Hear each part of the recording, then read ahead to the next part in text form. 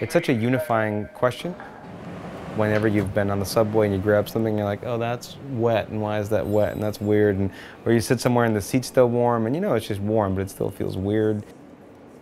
I think the interesting thing is that people base their fear on ignorance, and they don't know what's there, and so I want to try and show that what's there is mostly what you'll find on other surfaces.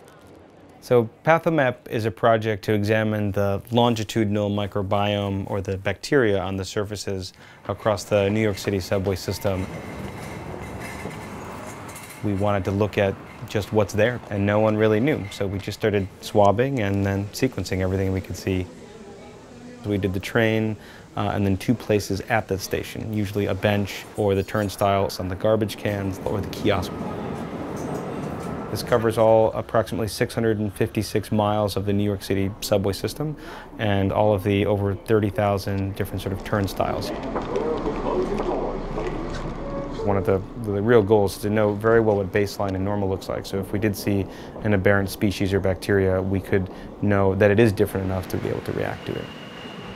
But the obvious application uh, of it would be for biodefense or just for tracking infectious disease could really respond quickly and potentially quarantine an area to prevent other people from getting sick, not only in the city, but also maybe airports, places like that. How did that DNA look, I guess? Did that DNA look bad when you started?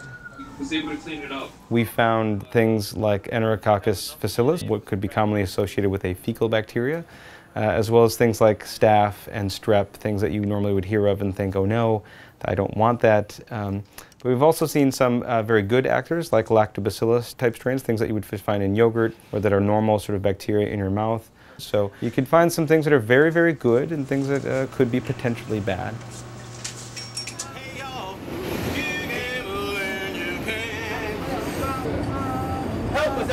The subway is a, a, mirror of humanity's surfaces. So there's both a, an angel and demon on every surface. The subway gets cleaned and essentially it gets washed away. So it's almost like the forest gets cleared and then in the morning commuters come and drop their seeds and by the afternoon there's a whole forest again that's resprouted of whatever people left behind. The subway is us, it's coming from all of us. So if you just rubbed all of the subway services, it would be akin to rubbing all of the people that walk through it. Which on the one hand is a little bit terrifying and gross, but on the other hand is kind of this interesting humanistic view that we're all in this together. We're all in the same big petri dish. But as long as you don't have any open wounds and you wash your hands, you'll be just fine. And even if not, you'll probably just be fine.